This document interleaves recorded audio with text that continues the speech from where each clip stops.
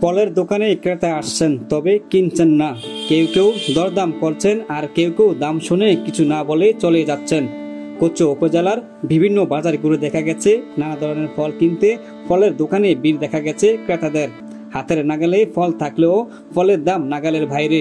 ফলে দোকানে ভিড় থাকলেও না কিনে ফিরে যেতে দেখা গেছে অধিকাংশ ক্রেতাদের। একই সাথে দাম নিয়ে অসন্তোষ প্রকাশ করেছেন ক্রেতারা।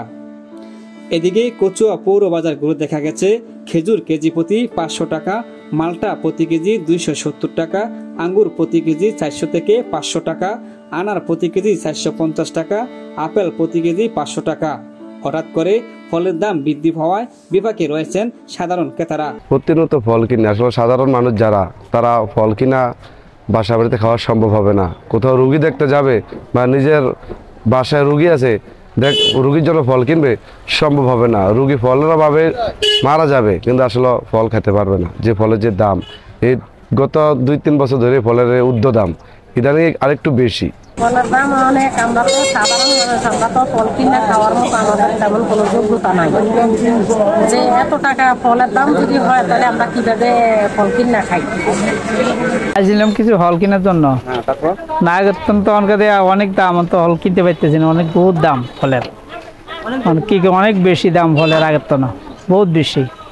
মধ্যবিত্ত লোককে আমরা কীভাবে খাব হল টল কীভাবে কি করব কোনো মাথায় ধরে না। ফল কেমন দাম বেশি। কোনটা কিনটা কি কিনো কিনতার না দাম বেশি। ব্যক্তির দাম বেশি ভাই। কি কিনো ভাই গরিব মানুষ ভাই?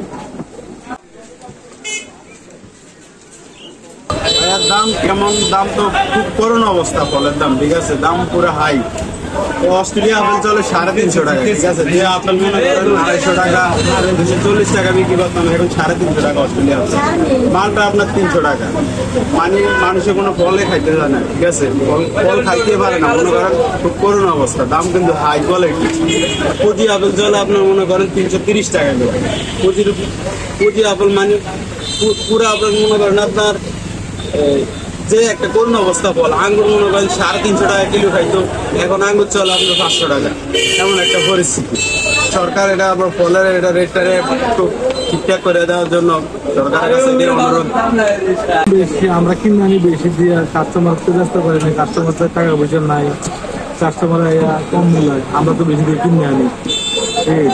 বেশি দাম দিয়ে কিনে আনি এখন বেশি দাম দিয়ে কিনে আনি আমরা কাস্টমারের কাছে বিক্রি করতে পারতেছি না। ঠিক আছে কাস্টমার কয়, অনেক অনেক টাকা দাম, ঠিক আছে, আমরা কীভাবে খাব?